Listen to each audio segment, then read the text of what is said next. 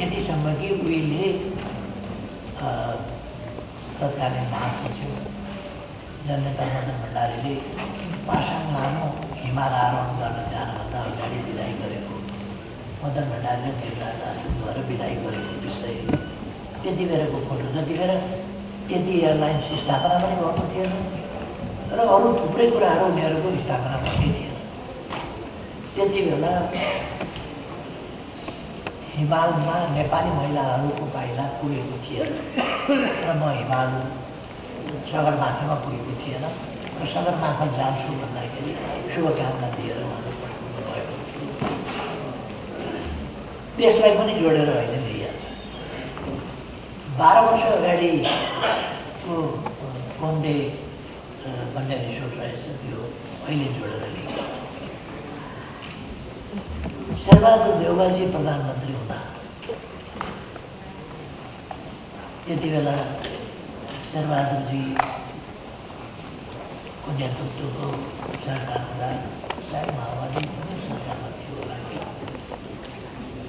त्यति बेला कालीमाटीको जमिन लिजमा रहेछ यो चर्चा चलेपछि अहिले हामीले चाहिँ पल्टाएर हेऱ्यौँ। कहिले दिएको रहेछ के रहेछ। शेरबहादुरजीको समयमा दिएको रहेछ कस्तो प्रक्रिया पुर्याएको छ छैन भनेर हेर्दा प्रक्रिया पुर्याएर विधि मात्रै दिएको रहेछ विरोध गर्नुपर्ने खालको तरिकाले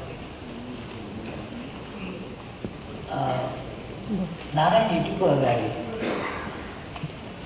त्यहाँको जमिन दिनु ड्युटी व्यापारिक प्रयोजनमा त्यो अर्को विषय हुनसक्छ तर सरकारले दिने नीति लिएर दियो दिने नीति लिएर दियो भने त्यो पनि अहिलेको सरकार बनेपछि होइन, त्योभन्दा अगाडि नै सरकारले दिएको दिने नीति लिएर दियो अनि कति छ अरब कि कति लिज पर्ने, छ अरब कति पर्ने, एक अरब कतिमा।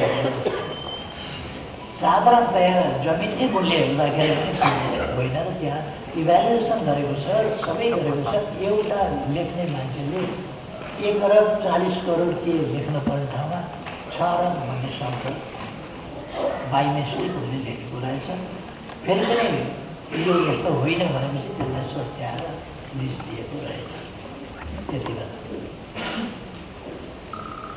अब छ अरबका दरले एग्रो पनि कति यहाँ यस्तै होला त्यतिको त्यो मूल्य पनि पर्दैन मूल्य पनि पर्दैन त्यति आनाको कति पर्छ मूल्य पनि नपर्ने ठाउँमा लिजको कुरा चाहिँ भुलचुकले एउटा लेखिएको विषय त्यो अहिलेको सरकारको विषय होइन। अघिल्लो सरकारको समयको कुरा हो। अहिलेको सरकारले आरोपित गर्ने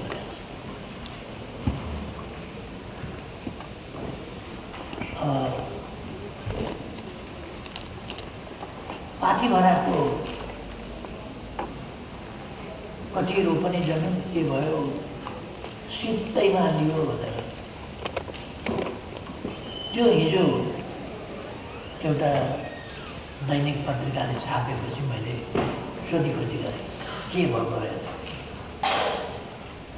त्यो अलिक धेरै वर्ष अगाडि त्यस ठाउँमा सरकार सञ्चालन गर्नका लागि लाइसेन्स लिएको रहेछ। लाइसेन्स दुईवटालाई दिएछ, दक्षिणपट्टिबाट र उत्तरपट्टिबाट आउने। विराटनगरका धननारायण श्रेष्ठको पनि जमिन एयरपोर्टको छेउमा रहेछ।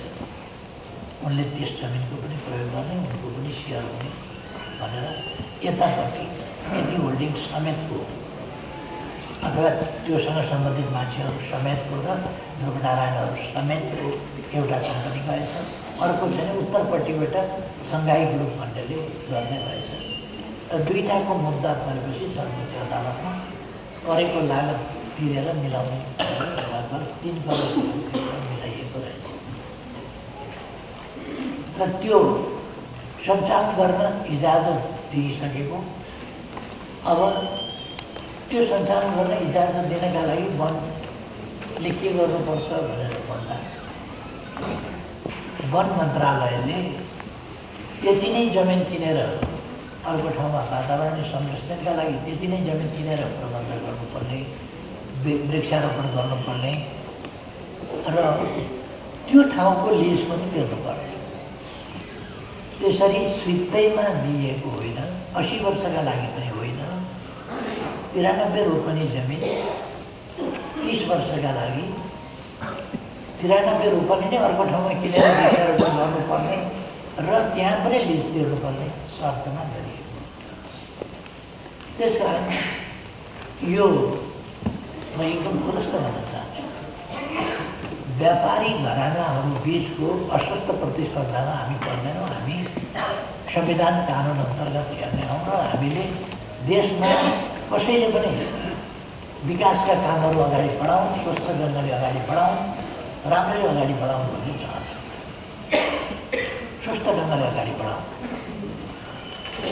जोसुकैलाई पनि हामी कानुनसम्म ढङ्गले अगाडि बढ्न प्रेरित गर्छौँ। कानुनभन्दा विपरीत जान दिँदैन। अहिले गोकर्ण रिसोर्टको कुरा आएको छ। गोकर्ण रिसोर्ट उहिले दरबारले विदेशीलाई लिजमा दिएको छ। विदेशीबाट नेपालीले दिएको छ। अब हाम्रो भनाइ के छ गोकर्ण रिसोर्ट लैलैमा लागेर एउटा ब्ल्याकमेलरले ब्ल्याकमेल गर्न पाएन भन्दैमा हाम्रो हामी त्यसका पछाडि जान्छौँ। गोकर्ण रिसोर्ट के बन्द गर्नुपर्छ भन्ने हाम्रो धारणा हो। नेपालीले किन त्यो चलाउन पाउँदैन भन्ने हो।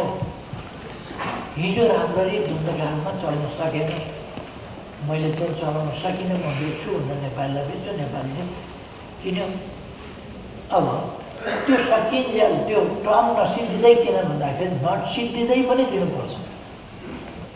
नसिद्धिँदै किन दिनुपर्छ भने त्यसको तयारी गर्नु पऱ्यो त्यसमा भत्किसक्यो त्यो भत्किसक्यो त्यो तयारी गर्दासम्म भत्किसक्यो अर्को पाउँदैन भनेदेखि उसले लगानी किन गर्छ कि हामीले बन्द नीतिमा जानु पऱ्यो?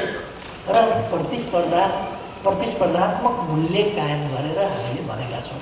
हामीलाई त्यसको पक्ष विपक्ष केही गर्नु छैन। हामीले उसको एप्लिकेसन हेऱ्यौँ र स्वतन्त्र स्वतन्त्र निकायहरूबाट स्वतन्त्र मूल्याङ्कनकर्ताहरूबाट त्यस्ता संस्थाहरूबाट मूल्याङ्कन गराएर त्यस मूल्याङ्कनको आधारमा हामीले